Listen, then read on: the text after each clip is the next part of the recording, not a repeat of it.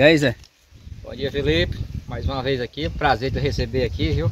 É, eu vou aproveitar aqui uhum. e fazer a prestação de contas dos das sacas de cimento que a gente compramos. Sei. E a, eu ainda não tinha feito a prestação de prestação conta. de conta, né? Aqui tem dois comprovantes. Esse aqui, 152 reais, que foram comprados quatro sacas de cimento. Esse dinheiro estava comigo das contribuições passadas que a gente tinha comprado algumas coisas e a gente não tinha gastado o dinheiro todo, né?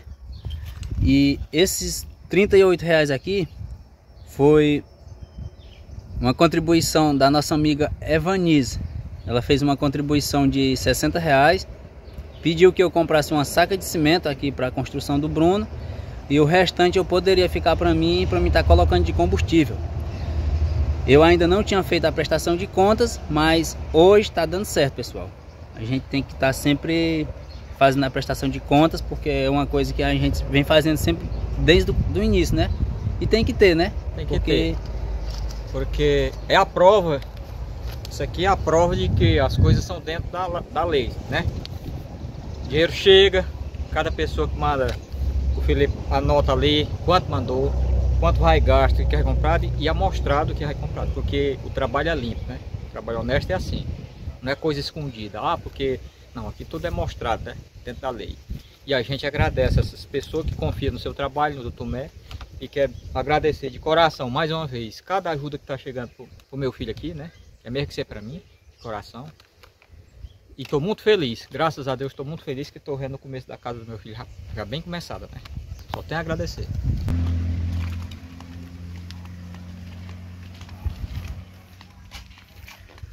É o seu Antônio, tudo bem, seu Antônio? Tudo bem, graças a Deus, tá bom.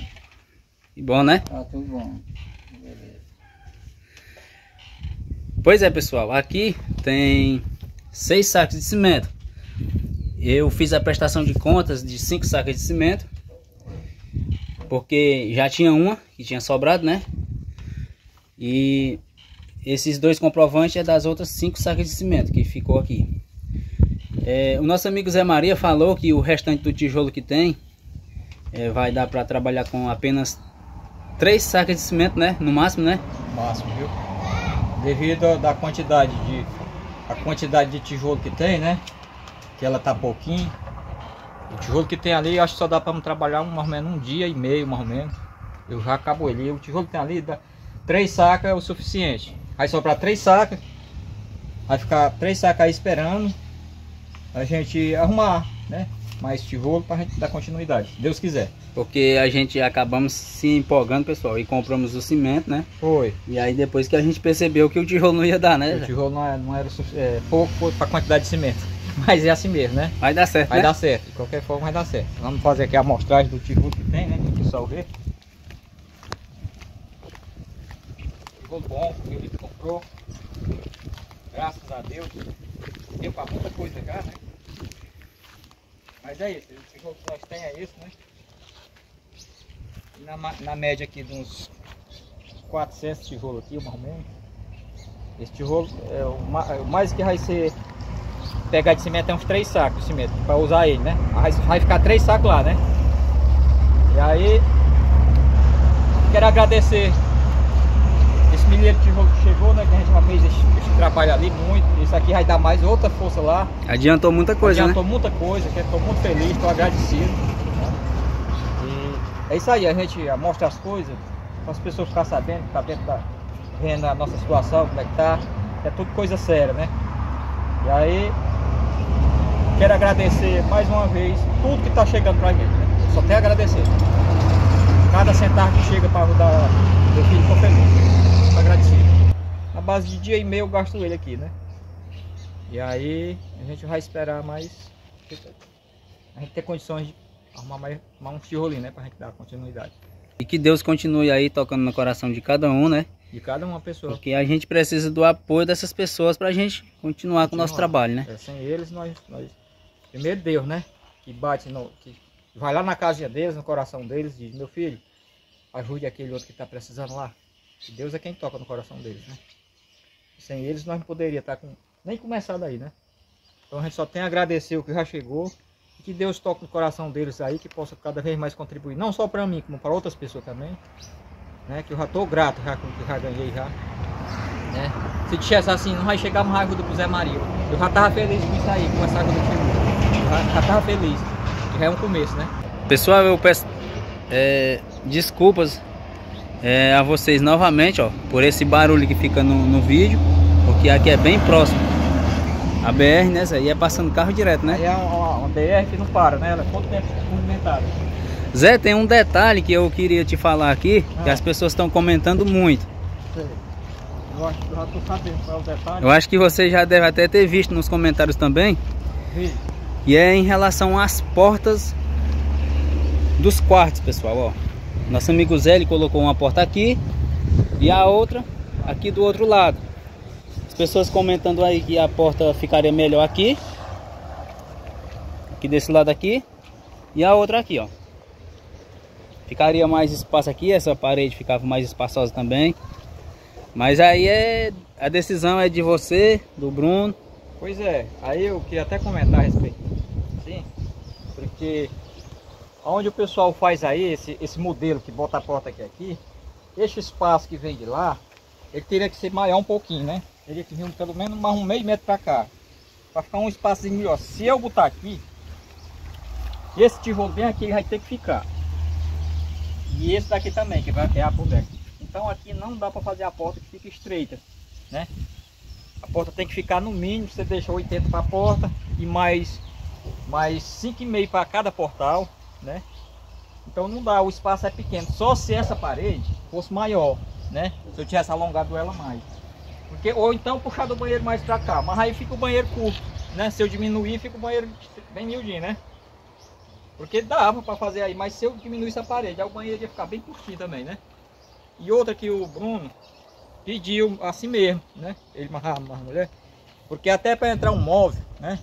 Por exemplo, uma geladeira, uma cama, uma coisa maior, assim tem mais espaço, né? E aqui não, aqui fica muito, aqui fica muito acolchado, né? Fica, quer dizer que dá também, mas como é o gosto deles, né? Eu queria respeitar o gosto deles, mas entendo, entendo as pessoas que pediram, né? Para fazer assim, eu entendo todos eles. Agora, se fosse um pouco de espaço mais aqui, dava, mas vai ficar muito curto. Aqui só dá, ó, cada tijolo, aqui só tem quatro tijolos, três tijolos e meio. Só dá 60 e poucos centímetros.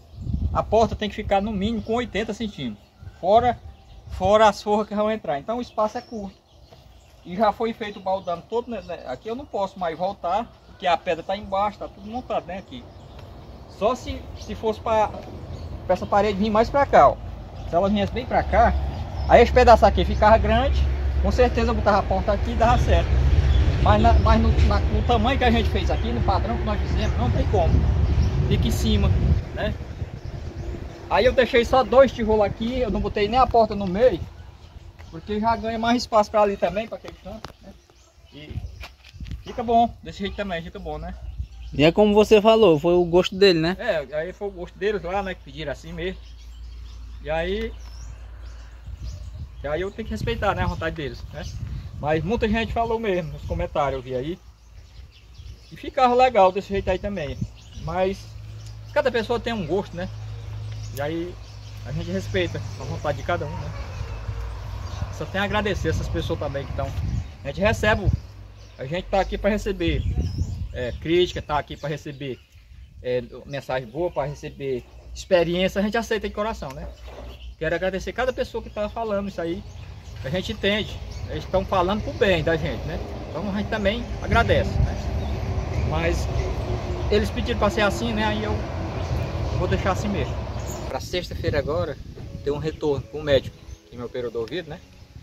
Então sexta-feira próxima agora, dia 6, eu tenho que voltar para fazer um fazer uma revisão, né? Mas tá sentindo nada não, né? Graças a Deus estou bem, trabalhando. O médico vai olhar lá e ver como é que tá, porque eu vou ser acompanhado por dois anos aqui nesse ouvido. Porque Ah, esse, esse retorno é porque é, tem que ser mesmo, é, né? Tem que ser, porque eu- aqui dentro eles colocaram, eles chamam um tubinho de ventilação, que é o tipo um canozinho, tá lá dentro. E eles têm que acompanhar o movimento dele dentro, porque o corpo da gente, ele, ele disse que por, daqui a dois anos o corpo vai expulsar ele para fora, né? Esse tubinho que tô. Então eles querem acompanhar o passo a passo, né? por exemplo, eu fui duas vezes já, agora eu vou de novo. Aí eles vão aumentando o prazo para me re retornar de novo, né? Aí sexta-feira eu tenho que ir para fazer uma revisão com o médico. Que bom que é só uma revisão, viu? Porque quando ele falou aqui, pessoal, eu pensei que tava sentindo alguma coisa. Não, não, é revisão porque tava marcado mesmo, né? A gente tem que cumprir com a... Durante dois anos, né? É. Até dois anos eu tenho que fazer essa revisão. Pois é, pessoal, vamos compartilhar os vídeos aí, porque é como a gente sempre fala, Zé, a gente precisa do apoio dessas pessoas para a gente continuar o trabalho, né? Com certeza, né? Sem esses, esses anjos de Deus que estão aí no, no, Brasil inteiro, no mundo aí, que estão ajudando as pessoas, sem eles nós não, não somos nada, né? Primeiro Deus, segundo essas pessoas boas. Então a gente precisa muito que eles continuem compartilhando, ajudando aí o canal do Felipe, né? Dois caras guerreiros aí que lutam por as pessoas todo dia, né? Mandar um abraço para cada uma dessas pessoas que moram no nosso coração, vocês estão ajudando nós. Só Deus para ajudar vocês. Valeu, Zé. Valeu.